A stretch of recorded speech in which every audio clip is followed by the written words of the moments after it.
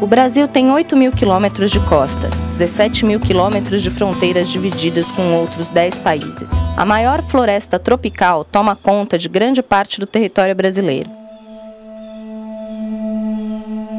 Assim como a maior reserva de água doce do mundo.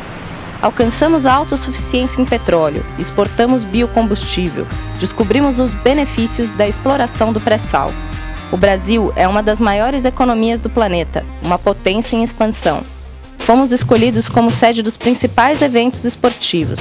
Estamos em evidência e em constante progresso, mas como vamos assegurar que tudo isso permaneça como legado para gerações seguintes?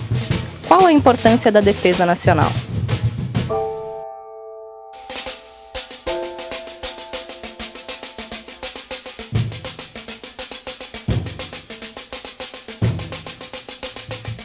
A maioria dos estudos uh, do mundo sobre esse tema que eu vou mencionar diz que a, a demanda por recursos naturais, tipo energia, ou alimentos mesmo, que não são recursos naturais, algumas vezes já elaborados, mas de uma base natural, uh, ou água, tende a crescer muito mais do que a oferta. Então, o, o Brasil, que é um país rico em todos esses elementos, tem que tratar de protegê-los e tem que tratar de evitar, portanto, que qualquer um se aventura, via.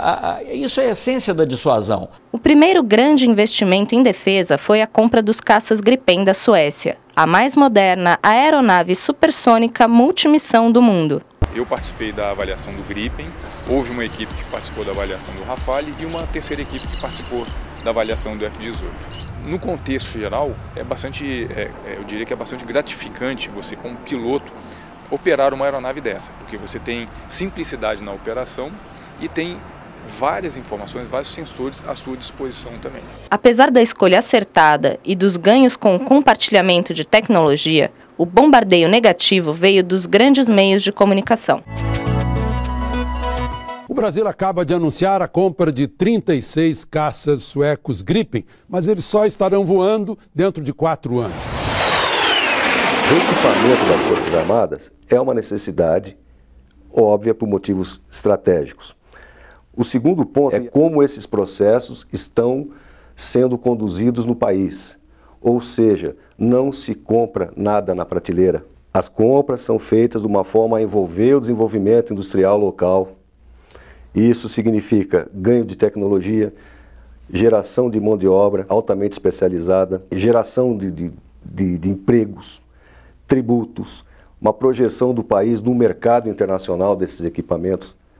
Então, é, é todo um conjunto que tem que ser visto, né, que, que, cujo grande beneficiário final é o Brasil. Na realidade, estamos falando não só de uma compra, né? claro que há um elemento de pagamento, até, mas falando, falando de uma coprodução, em que o Brasil estará presente em vários aspectos. O Brasil preza pelos princípios de não intervenção e pelo respeito aos povos. Não entramos em um conflito há 150 anos, desde a Guerra do Paraguai. Mas qual a importância dos investimentos em defesa em tempos de paz? Vamos deixar bélico de lado, porque bélico é a tradução precisa de guerra. Né? E nós queremos que sejam equipamentos de defesa e que eles tenham um efeito de dissuasão que nos evite até entrar no conflito. Né? Esse é o objetivo principal da dissuasão. Por isso a presidenta Dilma disse que era importante ter esses, esses caças. Ainda em 2014 estarão prontos os primeiros dos 28 jatos de grande porte KC-390, um avião com a largura de um campo de futebol, produzido pela FAB e Embraer, em conjunto com a Argentina, República Tcheca e Portugal, e que já contabiliza encomendas para todo mundo. Nós somos um país de craques no futebol e de craques na tecnologia.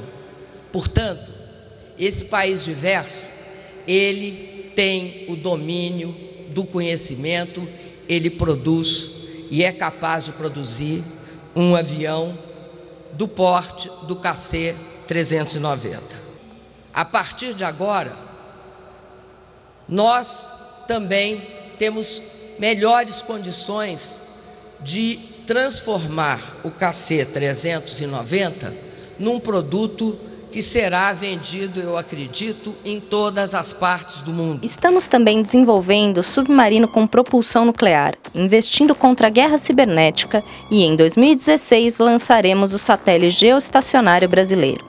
Ações que melhoram nossa defesa, nos credenciam para organismos de segurança internacional, geram empregos de alta qualificação em nosso país e desenvolvem a pesquisa, ciência e tecnologia de ponta. Note, por exemplo, o meio que você está usando agora para assistir este vídeo: a internet. A rede mundial de computadores foi desenvolvida graças à pesquisa militar. Quando o nosso presidente da República, em visita oficial a outros países, desembarcar em qualquer aeroporto do mundo, poderá dizer orgulhosamente que foi transportado por um avião construído em território nacional, desenvolvido com a nossa própria tecnologia, algo de que poucos chefes de Estado podem se orgulhar. Quero dizer para vocês uma coisa: se todas as brasileiras e todos os brasileiros pudessem conhecer essa planta industrial, pudessem conhecer estes hangares e acompanhar o processo produtivo que está sendo desenvolvido aqui nesta indústria do conhecimento, estou certa que cada um deles sentiria um imenso orgulho do nosso país.